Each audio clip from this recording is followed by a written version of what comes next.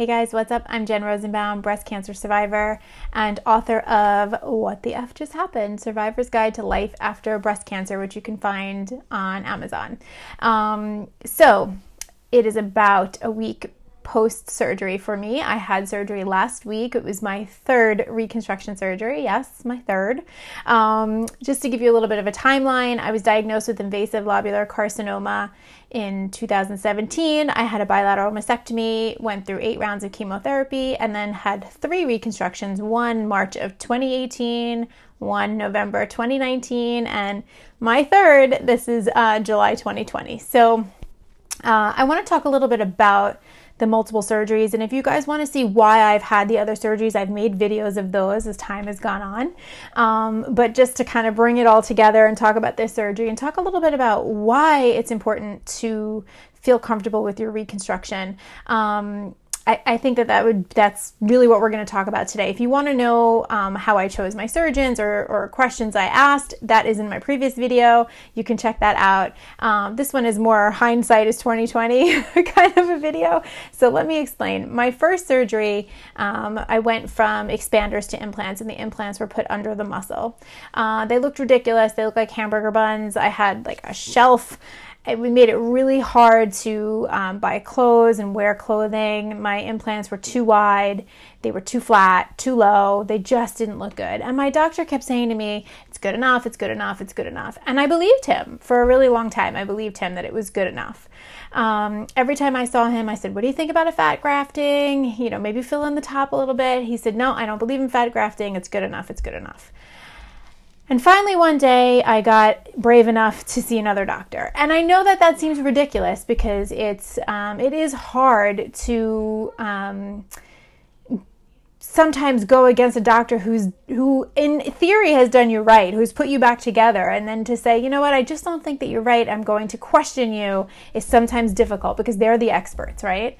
Um, so I decided to question him, saw another doctor. Doctor was like, "Nope, this is not right. They're too low, they're too far, they're too flat. They're they're all the bad things. Let's move you over the muscle. Let's do a fat grafting, a different um, profile implant and see how that looks." So I did that surgery in November 2019. And at first it looked good. Um, but the problem is, and by the way, I'm sorry if you're hearing some background noises. We're still in the pandemic here and my kids are here and you know, I don't know. I can only control how much noise they make after so many months. Um, so we did that surgery, and um, it looked good at first, but over time, the fat got reabsorbed back into my body and the implants really started falling. And what I understand now is that I didn't have the proper structure underneath by the fold of the breast. So my um, breasts were by my elbows, I mean, really low. And I'm only 45. I don't want to look like I'm 95. so, or I'm not 45 yet, 44. Um, but I really wanted to make sure my breasts were in the right place. The top was very, very hollow. I had a very severe mastectomy. Um, so I had a lot of rippling. My implants were not very dense at all, so it contributed to a lot of rippling. Even if I wasn't bent over, you could see all the ripples, and I just wasn't happy. And you know, here's the thing about that. The reason why um, I bring this up is because so many people would say to me, "Well, they look good to me," and yeah, they did look good to other people because I figured out how to like wear a certain bra and, and wear a shirt that covered it or um, make it look decent. But it didn't, and it was good enough. Um, but I didn't realize actually how much it was affecting me mentally until this third surgery. Now, I'm only a week out from my third surgery, although I have so much more faith in this plastic surgeon than my last two. Uh, and I do believe I am going to, this is going to hopefully be my last surgery. Um, the thing about it is that well, let me explain. So let me back up for a second. So what he did was he removed those implants. He gave me a more dense implant, and he made sure that he built um, with Alloderm a new um, structural system so that my implants won't fall. Now, my implants are definitely harder than they were before, so they're not very natural feeling, but I don't really care how they feel. I care much more about how they look. But if I tell you that they are inches, not centimeters, inches higher than they were before, they're in a much better position. It's lengthened my torso. I finally have a torso again. Um, they're very uh, comfortable where they are. And when I took the bandages off, um, I saw him the day after my surgery. When I and I am definitely going to cry when I tell you this. I can feel it coming already. But when I um, took the bandages off, I saw cleavage for the first time in three years. Now, if you're a breast cancer survivor, you'll understand. If you're not, you're going to be like, what's the big deal? Cleavage or no cleavage? You're alive. I don't know how to explain really in words what it felt like to look in the mirror and see somebody that I recognized for the first time in three years. It was the best gift anybody could have given to me. It was, um, I looked quote unquote normal for the first time in a long time. And I, I knew I missed it. I knew that having breasts that were um, deformed and unusual and um, ripply and uneven and, and all of that. I knew that, that that bothered me, but I just didn't realize how much it bothered me until they looked better. And the reason I haven't made a video before today was because it was almost too emotional for me to talk about in a good way. Um, I think that I feel like a different person. I feel empowered. I feel human. Um, it's very hard for me. I still think about it every day because I still have some pain. I'm only a week out. I still have pain. I still have a lot of bruising. Um, I'm still wearing this like crazy support bra. You guys can see. I still I'll show you. I still have bruising and and stitches and all of that. So I'm still in it. I'm still recovering. But I said to my doctor when I saw him the other day, I just I said exactly what I just told you that you know, thank you, thank you for making me feel normal again. You know, thank you for um, making me feel feminine and whole and human. And he said to me something so interesting. He said, breast reconstruction isn't about the body totally. I mean, it is, but it's not totally about the body. It's about the mind. And it's really about making sure that you don't have to think about your breasts every minute of every day. You don't have to think about what am I going to wear and how am I going to hide this and and does it look okay and and you know, for those who don't understand who just think, you know, oh, breast cancer is a boob job. It's so far from it. I just say this all the time. It's so far from it. And uh, I don't know if you can hear the kids playing. Um, I mean, I put on a t shirt and I saw something that looked like breasts for the first time in so long. It was so, it just felt so good. And I realize now how many times my breasts really got in the way, or my lack of breasts um, got in the way of certain things that I wanted to do. I'm not saying that that's okay. I'm not saying that you should experience that. I'm not saying that putting implants in is going to solve your problems.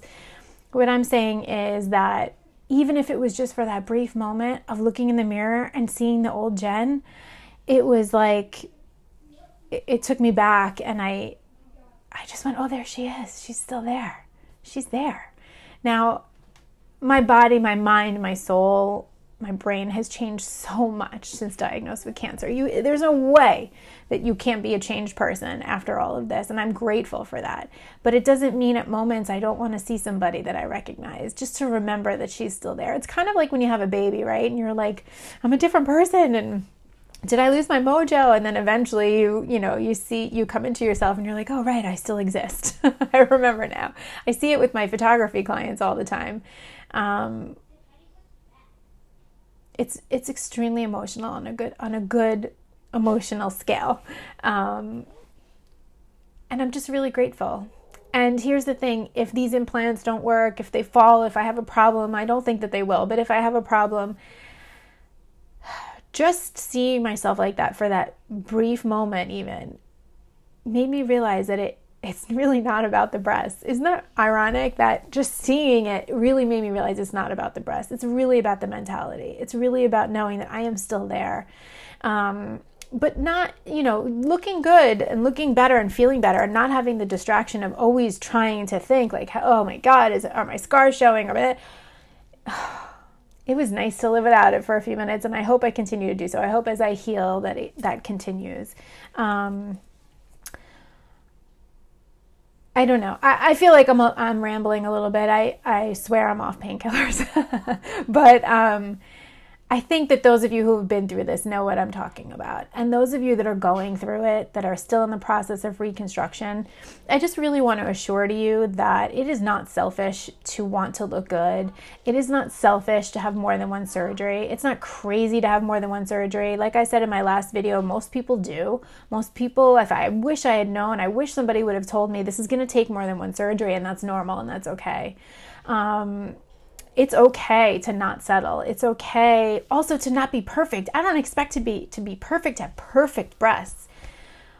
But I do. I do want to feel familiar, like I'm living in a familiar body. I do want to feel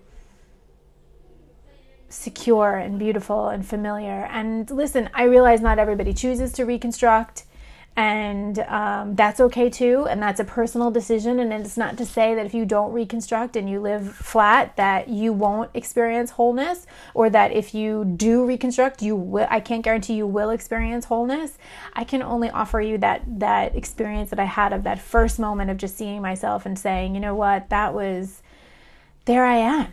I recognize that person. And um, this is a journey. This is a journey. I'm three years out um, today is July. Today's July 16th. So in a few weeks, I'll be celebrating my third year mastectomy anniversary. And when I say celebrate, yes, I mean it. I always try to celebrate the day every single year because it's a really hard day.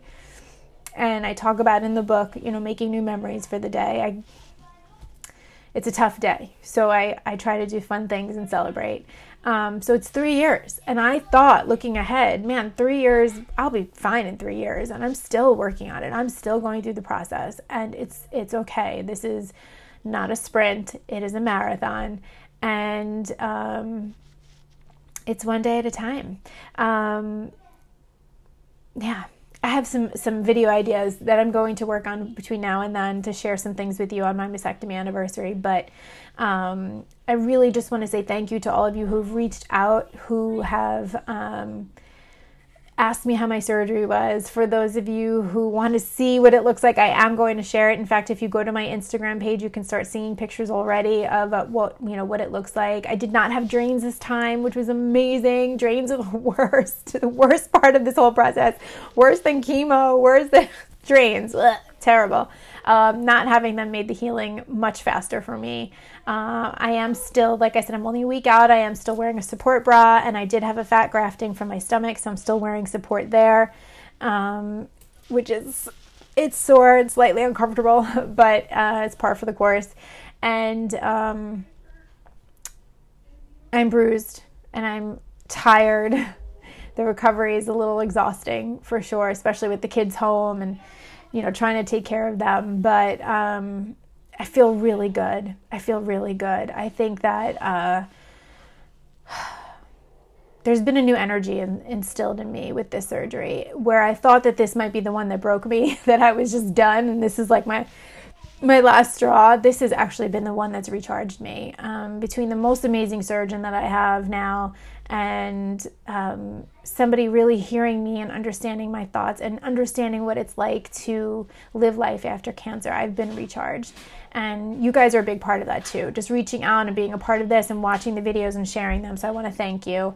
Um, you know, if you guys want my book, you can get it right now on Kindle. It'll be published in September, paperback. But also, if you're a breast cancer survivor and you want a free copy of the book, please reach out. Um, I don't have a link just yet for it, but I will soon. And so I'll post it here when I have it. So actually, if you're watching this video on July 16th. I don't have it yet, but I will have it shortly, so check out below. Um, I really appreciate you guys, and if I can support you in any way through your trials and tribulations, um, I'm here for that. We are a community, and we will get through this together. And um, like I said, this video was a little rambly, but it's sort of just a mishmash of thoughts that I've been having since my surgery. And if you have any questions, please reach out to me. I hope that this makes sense. I do think if you're going through the journey, that it will make sense to you. And ladies, if you're unhappy with what you look like and you're not sure how much it's really affecting your life, trust me, it is. Um, don't be afraid to get another opinion. Don't be afraid to ask, to reach out to a doctor, to ask me for my doctor's information. I'm so happy to give it to you. I'd recommend him to anybody. Um, but don't be afraid to advocate for yourself what you feel like and your self love and your self worth and your self image is so vitally important uh, right now. It always has been, but it's even more important post cancer to put your life back together. So don't underestimate that. This isn't just about boobs, you guys. This is about mentality, it's about your brain, it's about loving yourself, it's about so many other things besides just breasts. Don't let people convince you that you're selfish, that you want to look good, or I've even gotten, you know, why would you want to risk another surgery? What if something happens to you? What if what happens to me is that I feel like the most amazing version of me after this? And right now I do. So I just want to give you that little glimpse of hope. All right, you guys many blessings. I will be back a whole bunch between now and my mastectomy anniversary uh, to fill you in, keep you updated, show you some things, and um, share some photos. So I hope you have a great day. Stay healthy. And um, if you need anything, you know that I'm here.